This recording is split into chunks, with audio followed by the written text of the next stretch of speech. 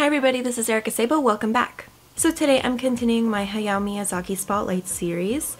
Uh, as you know, last time when I was reviewing Nausicaa, I was talking about how this next one would be my absolute favorite Miyazaki film to date. And that film is Princess Mononoke or Mononoke Hime.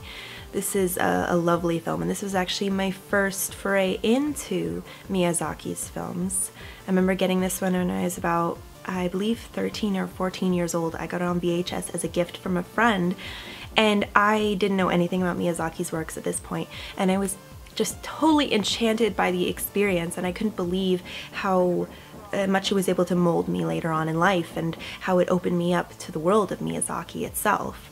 So I really, really look forward to doing this review for you today. So let's get started. Ashitaka, the lone prince of the Emishi people, sets off on a journey to save his home and find answers behind a deadly curse he's stricken with. That journey takes him further than he could have ever imagined and finds his life entwined with a mysterious girl named San and the pursuit for truth in a battle between nature and civilization.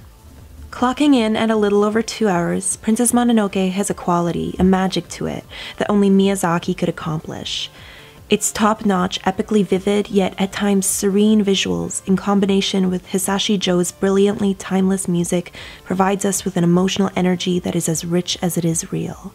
Easily one of the darkest Miyazaki works to date, Princess Mononoke effortlessly opens us up to a world that's on the brink of life and death. However, what makes it so compelling is the fact that it's so similar to the world we live in today.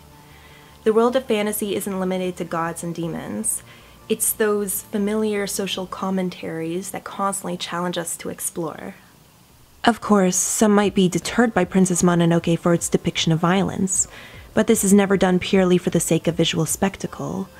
These visuals, as brutal as they may sometimes be, articulates the film's raw nature and adds to its rich narrative structure. I couldn't imagine the film being depicted in any other way. These are but a few reasons why Princess Mononoke is so near and dear to me and is still my favorite Miyazaki film to date.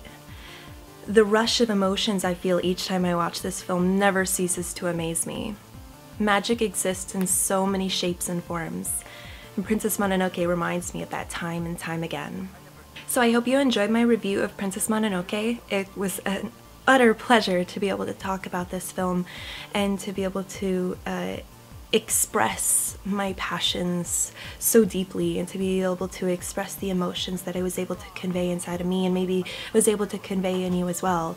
Mononoke is a favorite amongst many people, or even if it's not your favorite, it's one that's very memorable and one that I think a lot of people tend to pinpoint when they talk about Miyazaki's works, especially because it stands out so much. It's so much darker in scope. It's just, it's such a profound film in Miyazaki's library.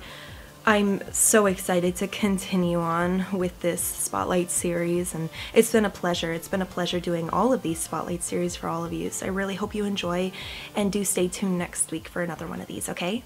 All right, peace.